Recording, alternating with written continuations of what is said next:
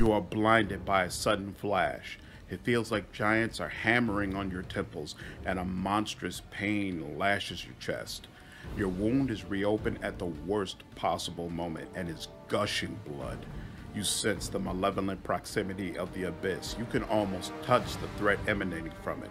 Slowly, almost reluctantly, the wound closes, but the pain and your heightened awareness remain. The hall bears the traces of the huge Balor's anger. Some demons are lying on the floor, literally ground into a bloody mess, while the rest are cowering against the walls. The blood is not confined to the ground either, but is splashed across the face of the kneeling Minagho. It's not clear if it came from the pentagram on the Lilitu's forehead or from a slash of the Balor's claws. Let me into the rift, Tarazand! We're all going to die here! Trying to fight back. It's madness!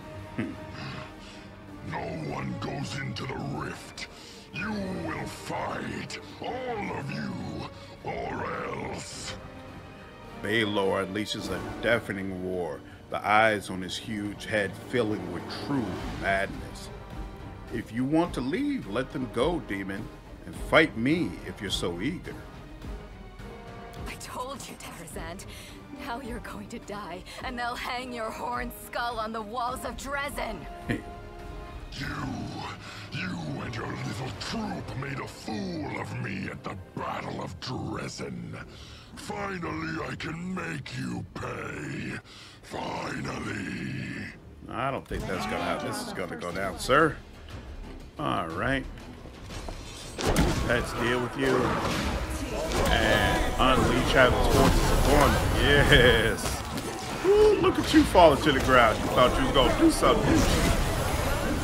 You still looking for what? Half your energy is going. Okay.